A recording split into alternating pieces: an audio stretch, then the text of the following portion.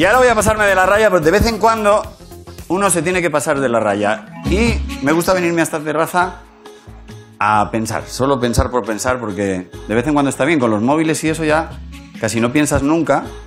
Y me gusta de vez en cuando, y os invito a hacerlo, coger un pensamiento, el que sea, y eh, tirar para adelante, a ver qué sale. Por ejemplo, la vida eterna. ¿Vale? Que dices, ostras, este es difícil, la vida eterna, qué maravilla, ¿no? Vivir eternamente. Vivir para siempre, sin miedo a la muerte, que es el gran miedo que nos acompaña desde que comprendemos que todo, el abuelo, la abuela, el perro, el gato o el canario, cierra los ojos un día y deja de respirar. Qué maravilla soñar que al otro lado de la raya de la muerte no hay más muerte, que vamos a vivir eternamente en un tiempo sin tiempo, sin pasado, sin futuro, donde siempre es presente la vida eterna. ¿Se puede imaginar algo más cruel? ¿Más terrible? ¿Se puede imaginar algo más inhumano que la vida eterna? Porque, claro, aunque tengas la suerte de caer en el lado bueno, es decir, en el cielo, piénsalo bien. ¿Te imaginas toda una eternidad en la gloria sin hacer nada más? Porque ¿qué se puede hacer en la gloria? Nada. No se puede inventar nada porque allí ya está todo inventado. No se puede escribir nada porque ya está todo escrito. No se puede investigar, allí no hay dudas, ni misterios.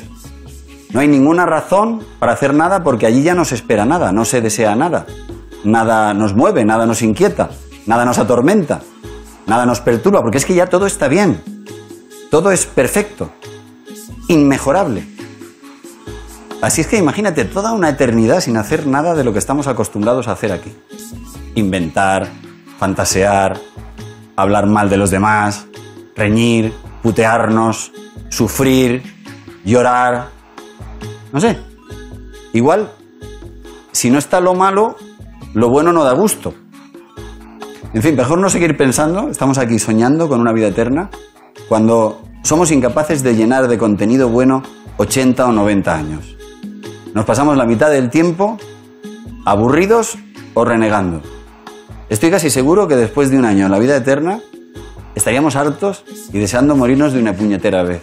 La vida es importante y es bonita porque se acaba.